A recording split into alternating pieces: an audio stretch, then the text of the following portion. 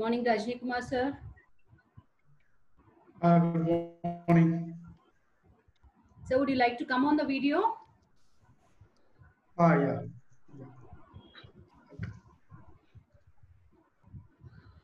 Good morning, sir. Nice to see you. Yeah, me too. Good morning, one and all. Uh, as a part of EPG Pathshala and uh, Consortium for Educational Communication, undergraduate CEC, we are conducting uh, webinars and today webinar topic is Yoga in Biomechanics Perspective. And uh, this session is uh, handled by Dr. R. Rajinikumar sir, who is Assistant Professor, Department of Exercise Physiology and Biomechanics, Tamil Nadu Physical Education, Sports University. We welcome you, sir, and over to you, sir.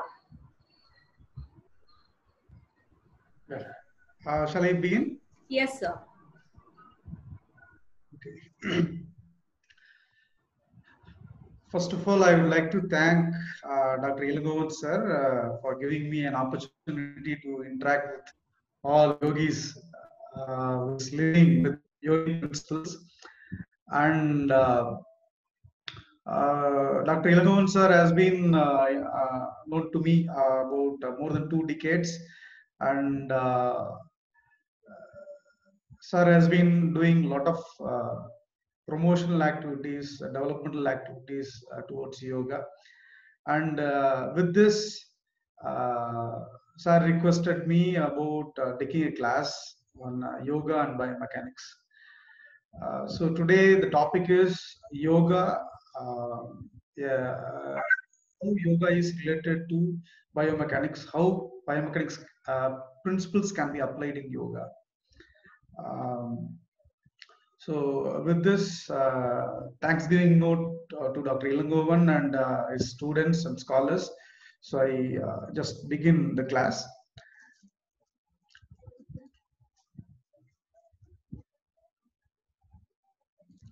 Okay. Uh, uh, Sridevi is there. Uh, can you permit me to share the screen, Yes, sir. Yes, sir. Sridevi? Yes, sir. Yes, sir. Yeah.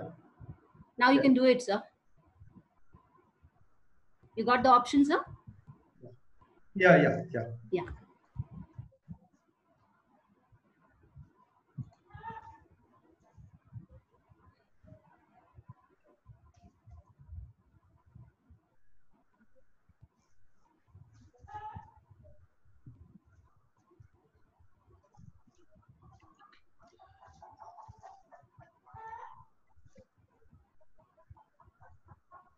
So yoga in biomechanics perspective is the topic uh, we are going to discuss today.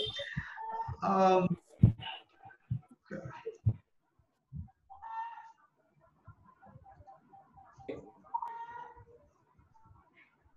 yeah. So uh, yoga in bi- biomechanics perspective is the topic today. and uh, the bi- word biomechanics, the word biomechanics uh, is uh, an age-old term, and uh, if you see, we practice biomechanics in everyday life without our knowledge. So unknowingly, we do uh, follow including uh, some movements, skills by applying biomechanical principles. So today, what we are going to see is uh, what is biomechanics, how this biomechanics principles can be applied in yoga. So that is the topic of our discussion today. And so the biomechanics. Um, biomechanics means it is related to physics, and uh, most of the people uh, even uh, they do not choose this subject because it is complicated and they are supposed to uh, study a lot of subjects because it is an applied science. But here, so I would like to um, give you some uh, basic information, rudimentary information with regard to biomechanics. So, uh, being yoga practitioners, I know very well you all have uh, treasury of knowledge with regard to yoga, yogic philosophy, yogic methodology, and uh, alternative therapy, yoga therapy, and everything. But with regard to biomechanics, biomechanics is a basic subject, right? It is a basic subject and it, these principles can uh, are applied in all movement sciences whether it is Sir, we are unable to hear you, sir. There is some uh, signal problem. Rajini Kumar, sir.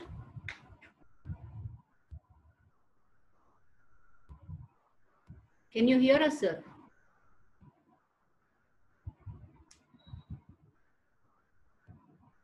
Rajini Kumar, sir.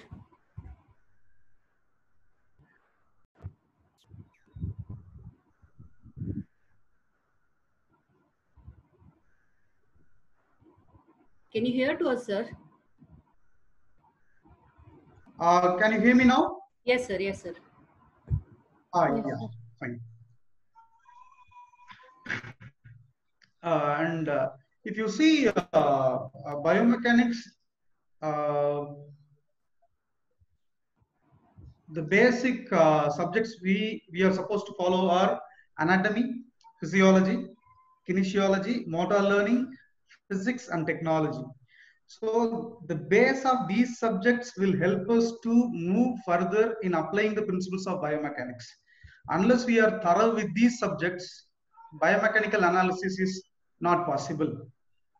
And anatomy, you all people, uh, not only yoga professionals, with regard to any movement science population or professionals, they are supposed to study right from MBBS, paramedical courses, physical education professionals, biomechanics, sports coaching, and all movement science uh, professionals, they are supposed to study anatomy and physiology. So I need not uh, spend uh, much time on this uh, meaning of anatomy and physiology. You all know. So structure of the human body is anatomy, physiology is the functions of human body. And uh, when you start with these two subjects, anatomy and physiology, the third component is kinesiology or kinesiology, we say. Kinesiology is nothing but human movement. So here comes how we apply the kinesiological concepts or uh, principles in practicing yoga. Because yoga is inbuilt about thousands of years ago, yoga was uh, uh, was in existence, and uh, our forefathers, ancestors, they studied, they did some research, and they have come out with technique. Any asana, whether, uh, for an example, uh, we say hatha yoga, and uh, whether it is pranayama, whether it is asanas, right? So, uh, in asanas and pranayama, we use a technique. The technique is because of the applying principles of biomechanics. When you apply the principles of biomechanics, the technique, the ideal right technique emerges. So, uh, yoga professionals are, uh, it is mandatory for the yoga professionals to have thorough knowledge with kinesiology, which we are going to see uh, later in the and uh, motor learning. Motor learning is nothing but uh, how our nervous system registers information by our practice. So any skill or any movement can be learned. A child uh, comes to this world and it starts crawling, crawling, walking, running. So those movements are learned. Similarly, in yoga also, we learn the movements. We learn about asanas. We we learn about asanas. We learn about uh, uh, breathing technique, right? And physics. So anatomy, physiology, kin- kinesiology, motor learning are around with, and then we apply the principles of physics on the human movement. So when you apply the uh, principles of physics on the human movement, it is called as biomechanics. So kinesiology is the study of human movement. And what is the difference between kinesiology and biomechanics? Biomechanics is nothing but when the principles of physics are applied on the human movement. Why should we apply the principles of biomechanics? Uh, I mean, uh, why should we apply the principles of uh, physics on human movement? Right? So we have answer here.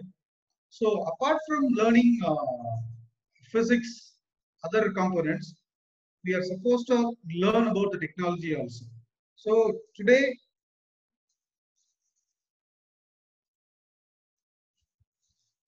just a minute.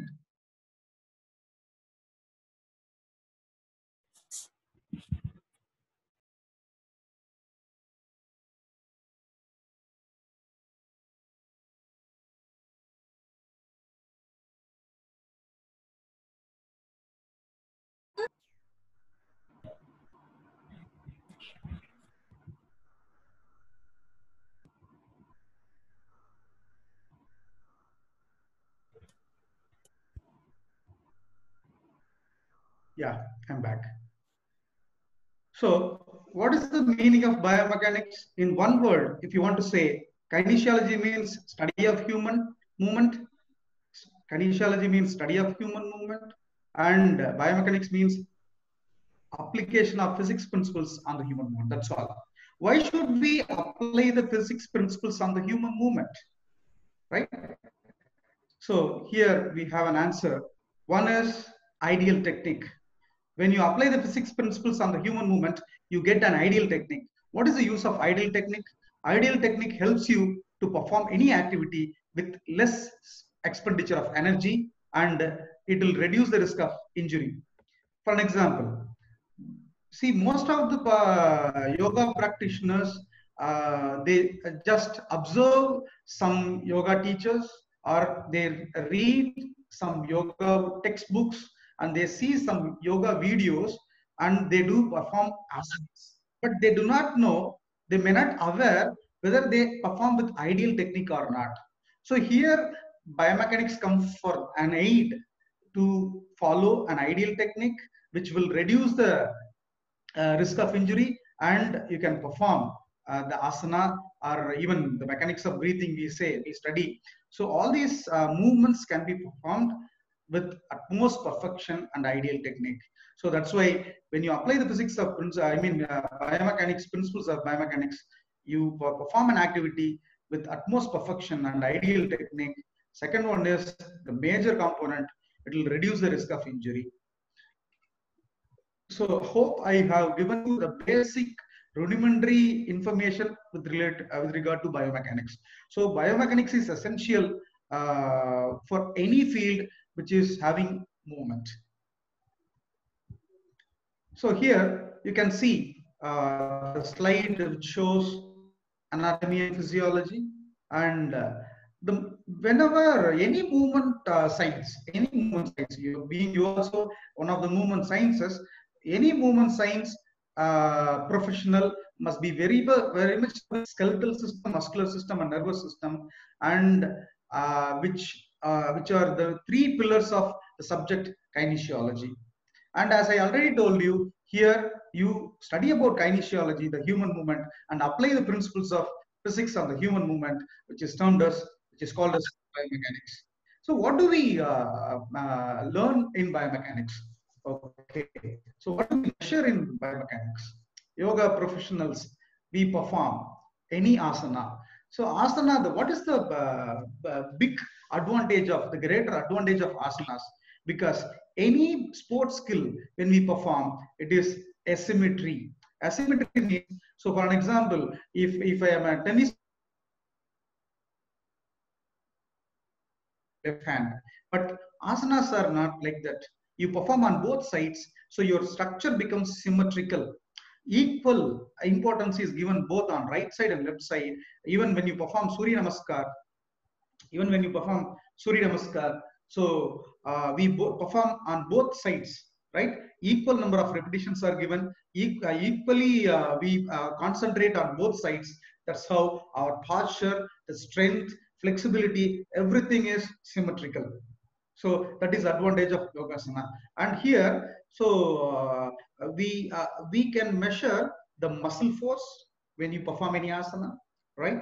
And joint angle and uh, what is the stress in the uh, joints and compressive force all this stuff we will see later in the presentation so this uh, uh, picture, uh, this slide shows you the clear information with regard to biomechanics.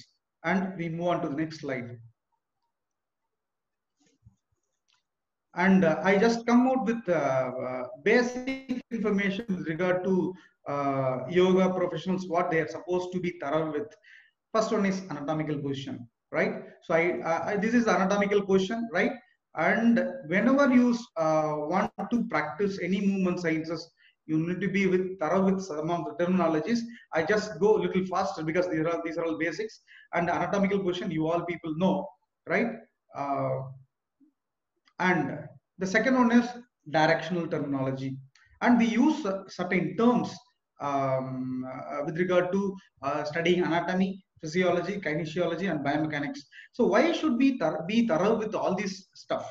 Because I am coming with uh, some basic information. Why? Because this information will help you apply the principles of biomechanics in asanas with regard to your breathing technique and everything. So directional te- terminology you can see here the planes and axis and directional terminology.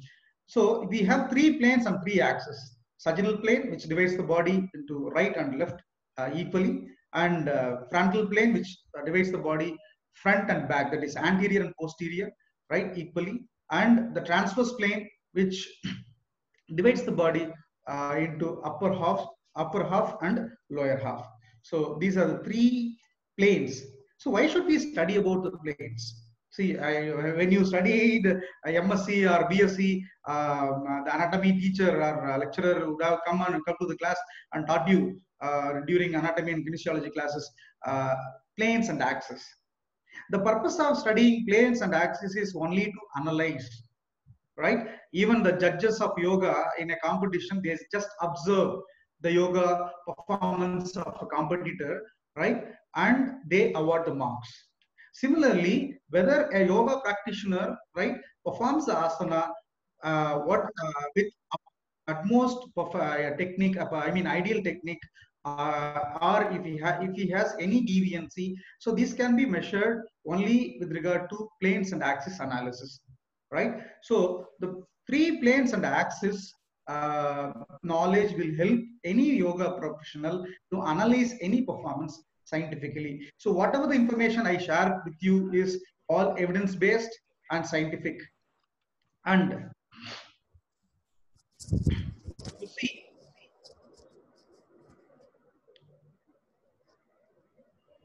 the directional terminology. The directional terminology is nothing but the superior, inferior, anterior, posterior, right? Superficial, deep. So these are all the uh, terminologies we uh, say with regard to anatomy and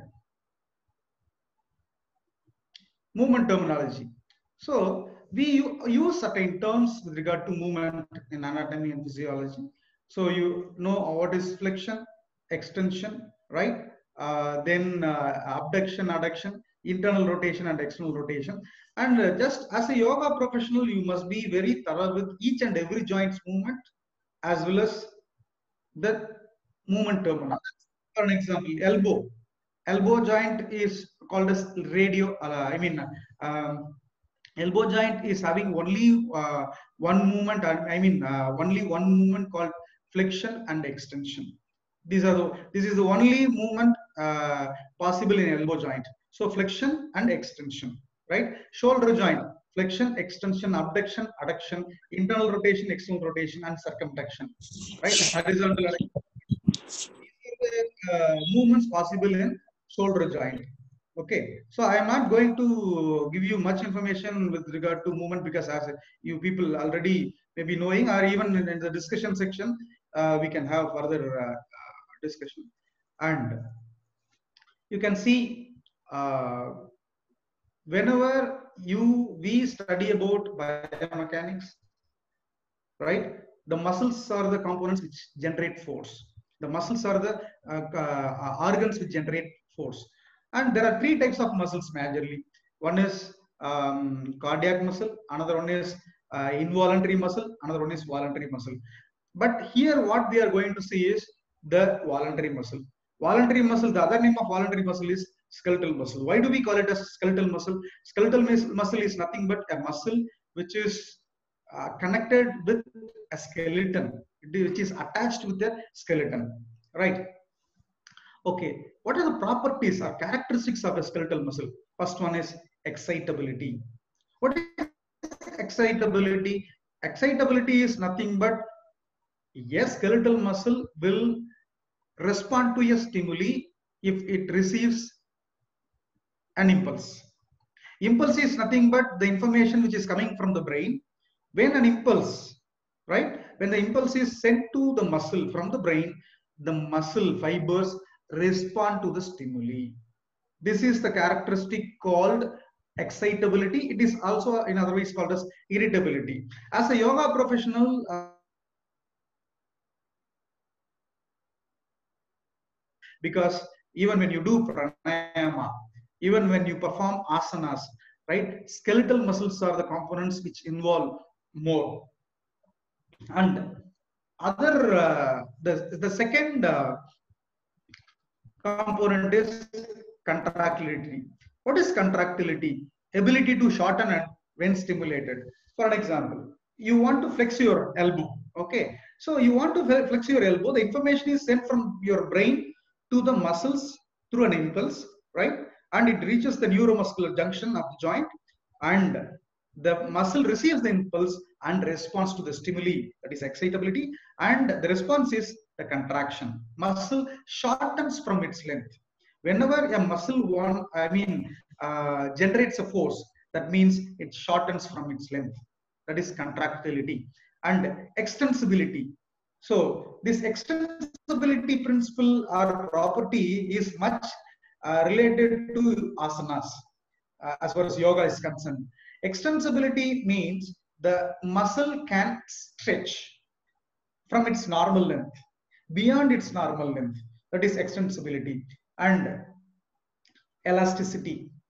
What what is elasticity? Elasticity is nothing but when you stretch a muscle after stretching is over that, that that period is over when you release or when you stop the movement again the muscle comes to its normal length that is elasticity right? A muscle is like a rubber band right? So once it is stretched it extends to the limit it can stretch and once the limit is reached when we release the muscle that means when we come to normal position again the muscle comes to its normal length. That is elasticity. So these four components these four properties you should keep in your mind because these principles will help you in giving a training or teaching asanas or giving a training to the students or designing a yoga asana program to the students any population right from the kids to the elderly population depending upon the age sex and the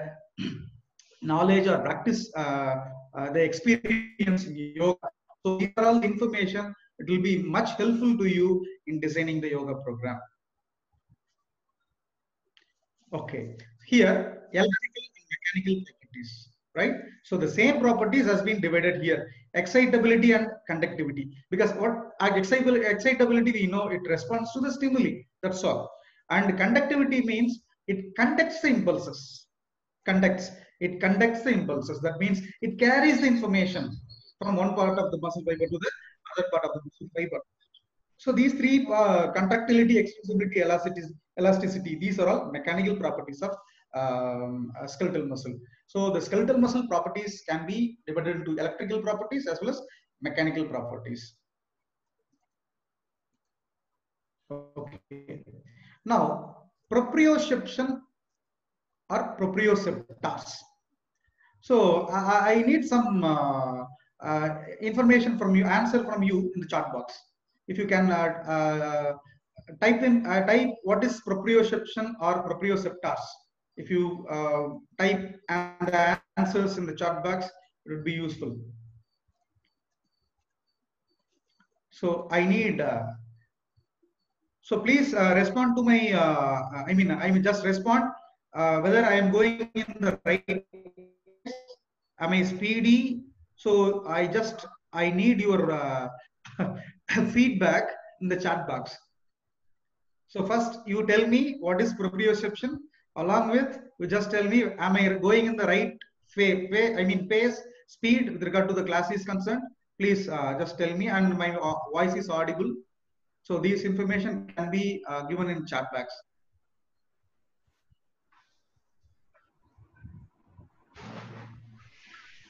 Good. Awareness of perception and movement of body. Dr. S. Parvati. Good. Well done. So one answer we have got. Okay. So I'll wait for the answers until then I'll, I'll carry on with this uh, proprioception. So proprioception or proprioceptors. Proprio, right? Proprio receptors. Receptors means nothing but it receives the information right? It receives, yes, rightly said. So uh, receives the information, right? So for an example, we have five senses. We these five senses are having receptors. These these five senses receive the information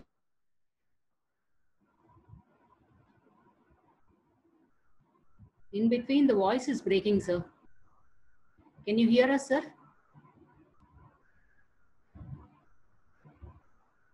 You are not audible, sir.